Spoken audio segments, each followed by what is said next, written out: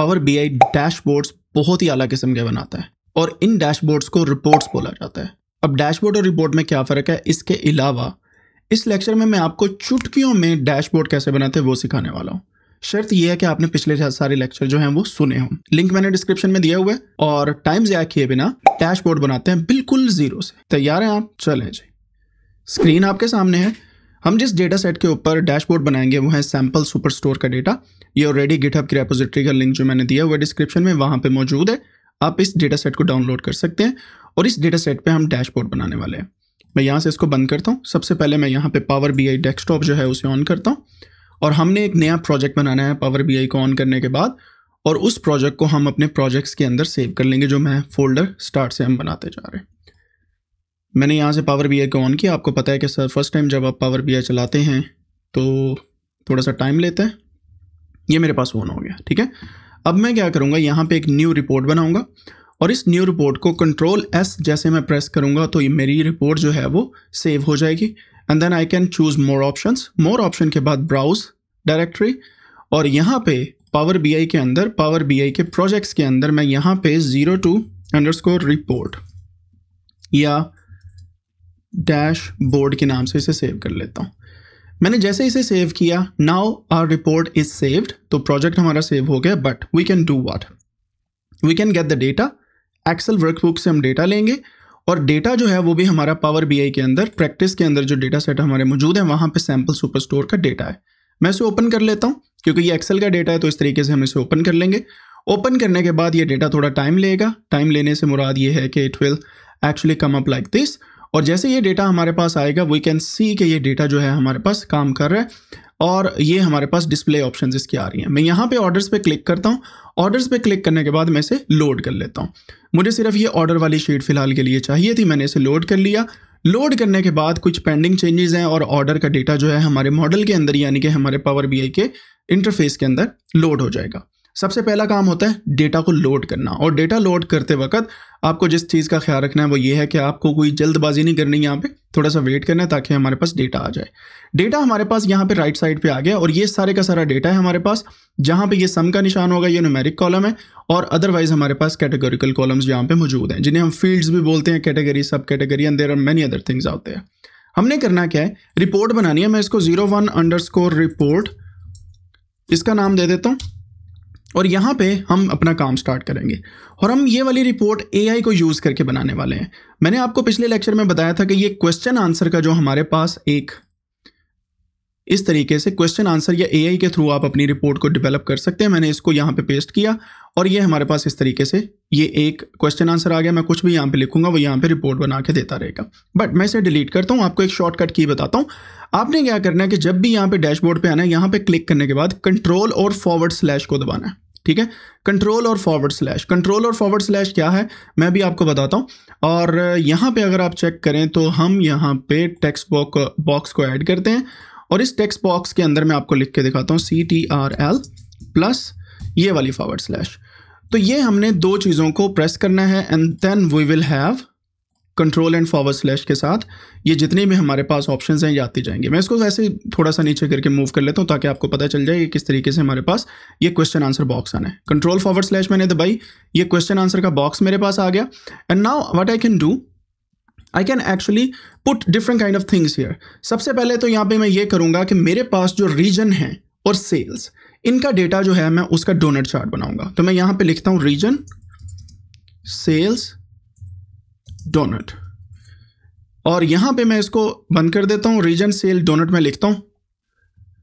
Enter पे click करता हूँ, या वैसे मैं इस पर क्लिक करता हूँ so it will create a donut chart based on the region sale और ये मेरे पास आ गया दैट्स ग्रेट और ये वाला जो रीजन डोनट रीजन मेरे पास चार्ट है, इसको मैं लिखने के बाद यहाँ पे क्लिक करूँगा और ये मेरे पास रिज़ल्ट जो है वो कन्वर्ट हो जाएँगे। So this is our first chart ठीक है जी? इसको मैं यहाँ पे पेस्ट कर देता हूँ, या हम इसको जहाँ पे भी आपने पेस्ट करना है वहाँ पे कर दें, ठीक है?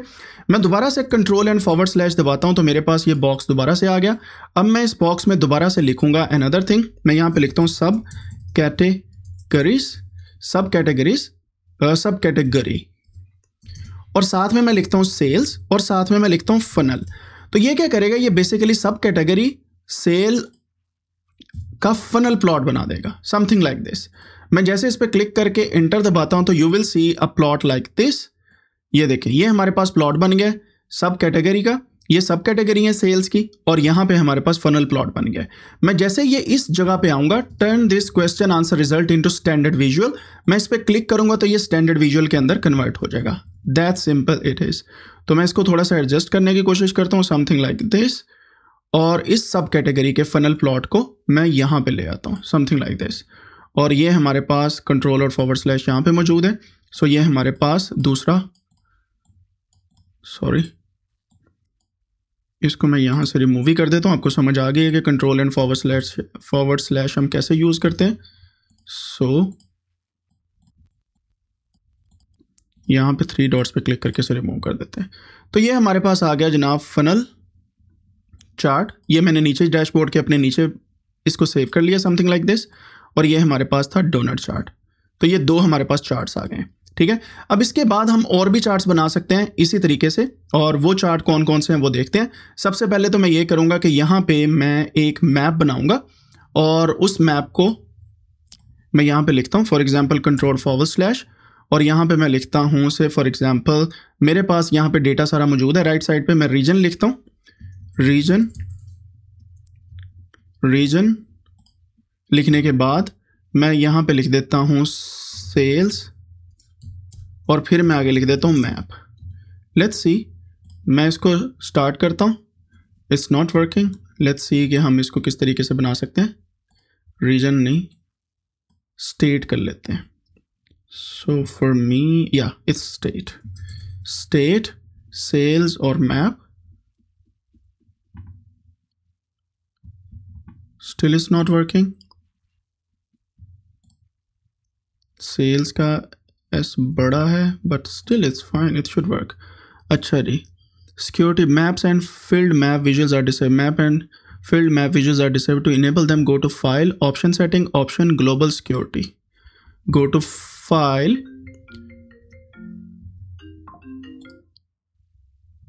File, option setting, options.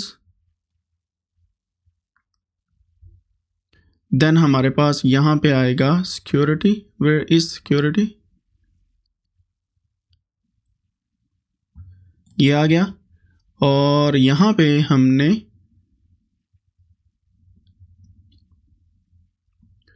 Use map और आर जी आई इसको भी मैं फिल कर देता हूँ। एंड देन ओके करता हूँ। एंड लेट्स सी मैं यहाँ पे दोबारा से मैप बनाने की कोशिश करता हूँ। एंड यहाँ पे ये यह हमारा मैप बन गया ठीक है जी? तो इस तरीके से आप उसे एक्टिव कर लेंगे। मैंने उसे एक्टिव कर लिया। मैं इसको स्टैंडर्ड विजुअल में कन्वर्ट कर देता हूँ। कन्वर्ट करने के बाद इसको थोड़ा सा जूम आउट करता हूँ। तो ये हमारे पास यूनाइटेड स्टेट्स का प्रॉपर जो हमारा मैप है, वो आ गया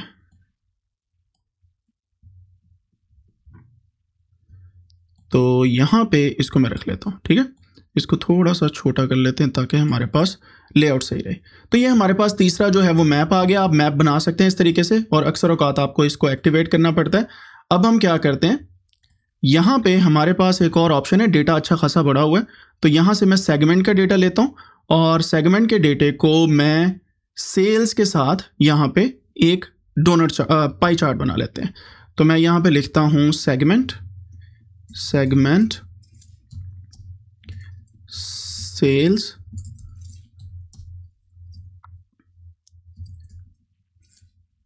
पाई ये मेरे पास बन गया सेगमेंट सेल का पाई चार्ट ये मैंने इसको विजुअल में कन्वर्ट कर लिया। And here you can see that कि हमारे पास सम ऑफ़ सेगमेंट्स यहाँ पे आ गए हैं। और सेगमेंट्स जो हैं वो मेरे पास राइट right साइड पे भी शो हो रहे हैं। कंज्यूमर सेगमेंट है कॉरपोरेट सेक्टर है होम ऑफ़िस है, और ये इनकी सेल्स है। और यहाँ पे sum of sales by region है, और यहाँ पे मेरे पास sum of sales by state है। तो मैं इस प्लॉट को थोड़ा सा यहाँ पे लाता हूँ ताकि इसकी कुछ सेंस बने प्लॉट की। हम ऐसे मुँह उठा के नहीं रखते कोई भी डेटा सेट कहीं पे so we can do that इसके अलावा हम क्या कर सकते हैं प्रोडक्ट आईडी को अगर मैं उठा के ऐसे ड्रैग एंड ड्रॉप करता हूँ यू विल सी कि यहाँ पे सारी की सारी प्रोडक्ट आईडी आ जाएगी। सो so, इसी तरीके से प्रोडक्ट आईडी की बजाय मैं कोई और चीज़ यहाँ पे ड्रैग एंड ड्रॉप करता हूँ विच मेक एक्चुअली सेंस तो that could be kind of I would say यहाँ से हम कैटेगरी उठा लेते हैं। No it doesn't make any sense क्योंकि ये दो ही चीज़ें हमारे पास। इसके अलावा हम क्या कर सकते हैं? हमारे पास यहाँ पे है ऑर्डर डेट और सेल्स ये दो चीज़ें हैं। तो हम इनका भी एक प्लॉट बना लेते हैं ऑर्डर डेट का और सेल्स का पहले। तो यहाँ पे मैं लिखता हूँ order date and sale line line लिखते हैं। Let's see so it is actually order space date order space date ये आ गई ऑर्डर डेट एंड देन आपके पास सेल्स है। ये आ गई हमारे पास सेल्स इसको मैं कहता हूँ लाइन चार्ट बनाए। It's not working well this doesn't make any sense order date और सेल का हम हिस्टोग्राम भी बना सकते हैं। इसको मैं रिमूव करता हूँ। यहाँ पे line and stack column chart line and cluster column chart ribbon chart इसको बना के देखते हैं। यहाँ पे मैं डालता हूँ जी ऑर्डर डेट एक्स एक्सिस पे और सेल्स जाती है हमारी वाई एक्सिस पे। Yes now it looks somehow kind of good लेकिन ऑर्डर डेट ऑर्डर डेट का जो कॉलम है it should be not sum order date कैसा कॉलम है? पहले तो इस डेटा को देखें ना order date I see order date हमारे पास कुछ इस तरीके से आ रही है। So it's not a kind of date column that's why it's making a problem okay हम अपनी एक्सेल की शीट के अंदर देखते हैं कि क्या ये ऑर्डर डेट की तरह थी कि नहीं।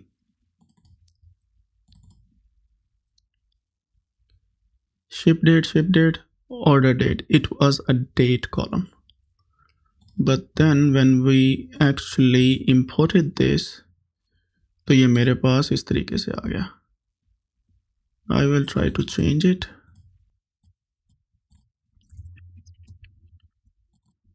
so it should be not whole number date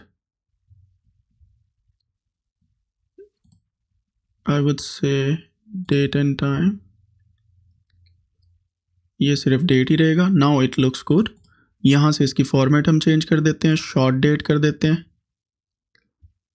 So now it make sense इसी तरीके से शिप डेट इसको भी हम चेंज करेंगे डेट के कॉलम के अंदर from here so it's date and then from here it should be short date so now it make sense हमने यहाँ पे डेटा को चेंज किया। और यहाँ पे हम कमिट पे क्लिक करेंगे ताकि ये डेटा सेव हो जाए हमारे पास। Let's see we go back और यहाँ हम ऑर्डर डेट को अब डालेंगे। यहाँ पे नाउ इट मेक सेंस तो आपके पास बेसिकली ऑर्डर डेट का प्लॉट बन जाएगा। ऑब्वियसली ये एक अच्छी खासी डेट है, लेकिन हम इसको क्या कर सकते हैं? ऑर्डर डेट को डेट हायरार्की के बजाय यहाँ से ईयर्स रख लेते हैं क्वार्टर और मंथ भी रख सकते हैं हम या हम मंथ्स को भी रिमूव कर देते हैं। तो सिर्फ़ ईयरली हमारे पास डेटा आ गया। So this is how you can actually manipulate the data as well जो हमारे आने वाले लेक्चर्स के अंदर भी आप देखेंगे। सो so, इस तरीके से हमने डेटा को बना लिया।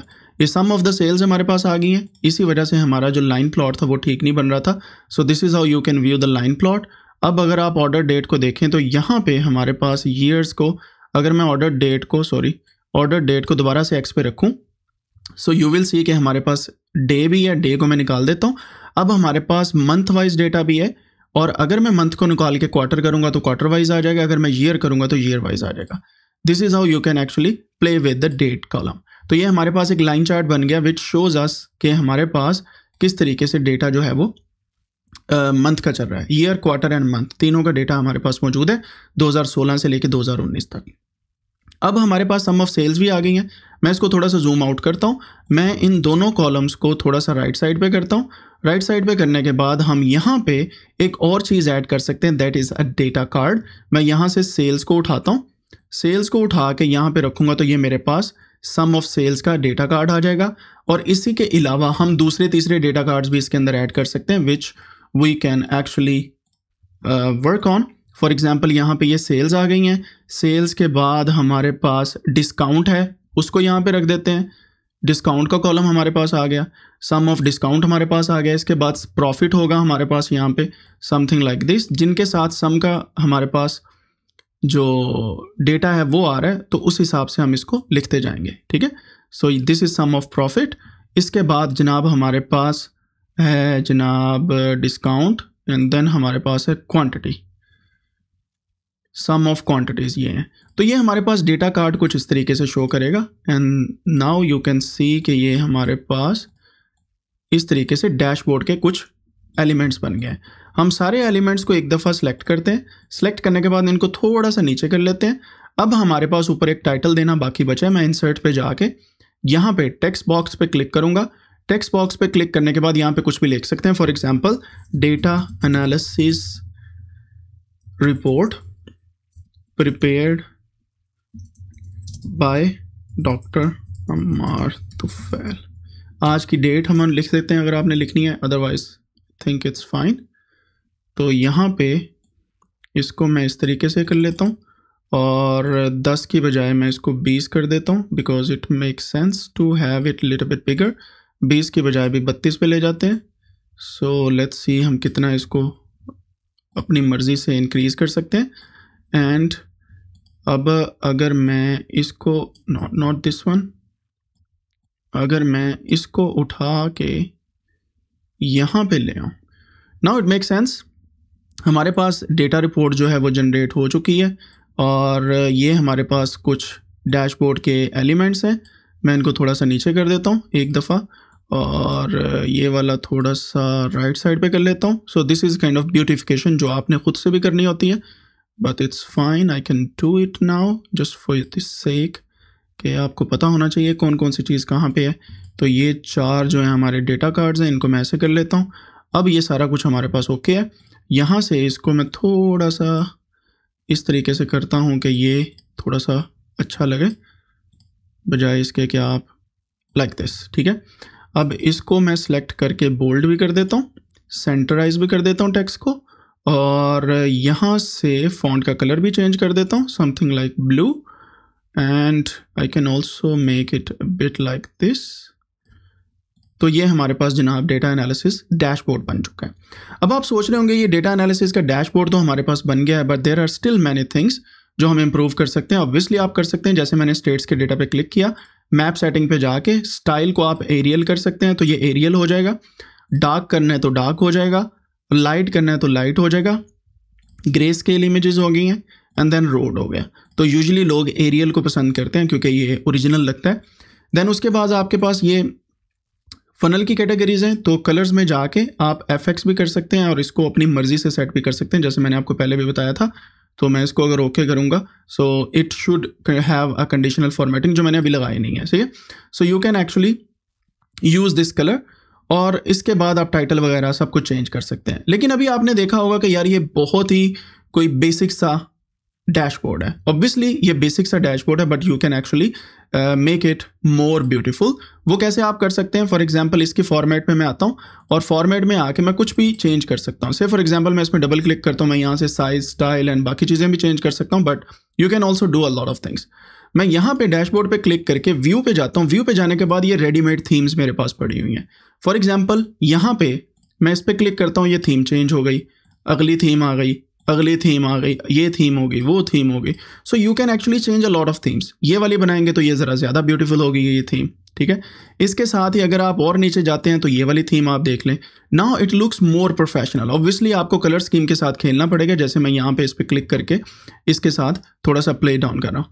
अब आप देख सकते हैं कि डैशबोर्ड आपका थोड़ा ज़्यादा प्रोफेशनल लग रहा है। बट स्टिल अगर आप दोबारा से थीम में जाके यहाँ पे कोई और थीम यानी कि ये वाली थीम आप सेलेक्ट करते हैं नाउ यू सी कि आपका डैशबोर्ड और भी अच्छा है but there is something wrong with the theme जो एम्बेड नहीं कर रही कलर्स को। Something like this could be a nice dashboard अब इसी के ऊपर सेलेक्ट करने के बाद अगर मैं इसका कलर वाइट की बजाय थोड़ा सा ऑरेंजिश रख दूँ something like this then this is a kind of I would say not really professional dashboard but something is there अब इसमें मर्ज़ी की बात हमारी ये है कि आप जिस चीज़ पे भी क्लिक करेंगे you can do a lot of things with that say for example मैं यहाँ पे सिर्फ़ सिर्फ़ वेस्ट रीजन का डेटा देखना चाहता हूँ, मैं वेस्ट पे क्लिक करूँगा, पूरे का पूरा डैशबोर्ड अपडेट हो जाएगा। यहाँ पे अगर आप देखें तो मैंने यहाँ पे वेस्ट पे क्लिक किया पूरा डैशबोर्ड अपडेट हो गया। ईस्ट पे क्लिक किया ईस्ट का आ गया। सेंट्रल पे क्लिक किया सेंट्रल आ गया। साउथ पे क्लिक किया साउथ का आ गया। एंड ऑल्सो हमारा मैप भी चेंज हो रहा है। So you can actually click on many thing और आपका मैप चेंज हो जाएगा। ठीक है जी? यहाँ तक समझ आ गई? अब आप देखें कि अगर मैं कंट्रोल प्लस कर प्रेस करके सभी को सिलेक्ट कर लेता तो, तो मेरे पास ये आ जाएगा। अगर मैं चाहूँ sum of the sales by segment तो मैं सिर्फ़ उस सेगमेंट पे क्लिक करूँगा। I will have a lot of data showing that कि सम ऑफ़ सेल्स सबसे ज़्यादा कहाँ पे रही है? ठीक है? और यही नहीं, मैं ये भी देख सकता हूँ कि किस साल में मेरे पास ज़्यादा सेल्स रही है और किस क्वार्टर में? क्योंकि ये हमारे पास मंथ वाइज डेटा है। अगर मैं इसी मंथ को क्वार्टर में लेके जाना चाहूँ I can also do that कैसे? मैंने आपको पहले भी बताया था कि आप यहाँ पे इस पर क्लिक करेंगे। क्लिक करने के बाद यहाँ पे डेटाबेस पे आ जाएँगे। सॉरी नॉट डेटाबेस फॉर्मेटिंग पे। और यहाँ पे आने के बाद आप डेट जो है यहाँ से ईयर क्वार्टर और मंथ मंथ में निकाल देता हूँ, ये मेरे पास क्वार्टर का डेटा आ गया और ये मेरे पास ईयरली डेटा आ गया। And this is how you can actually play with this क्योंकि 2016 में सेल इतनी थी 17 में इतनी हुई अठारह में इतनी और 19 में इतनी। सबसे ज़्यादा 19 में सेल है। So this is how you can play with the data अब आई नो कि there are many other things जो आप इसके साथ मैच कर सकते हैं। मैं डे का डेटा यहाँ से निकाल देता हूँ, बाकी आपके सामने है ये data so you can actually play with the data मैं इसको कंट्रोल जी भी कर सकता हूँ बेस्ड ऑन माई आइडिया जो मैंने यहाँ पे चेंजेस किए हैं and then I will see the data like this right तो ये हमारे पास आ गया। अगर मैं चाहूँ सिर्फ़ चेयर्स की सेल हो तो ये सिर्फ़ चेयर्स का डेटा है। स्टोरेज का डेटा फ़ोन्स कहाँ पे सेल हुए हैं? और सबसे ज़्यादा फ़ोन्स ही सेल हुए हैं।